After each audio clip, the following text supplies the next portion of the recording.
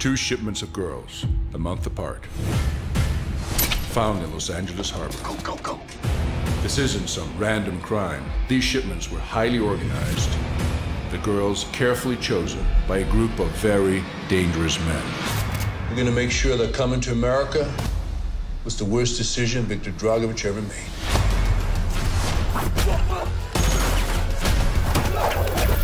Skin trade's worth billions of dollars. You should have killed me, detective.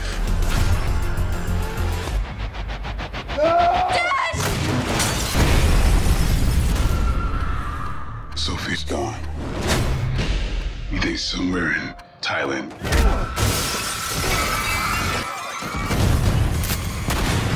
Whatever it takes, I'm gonna find my daughter.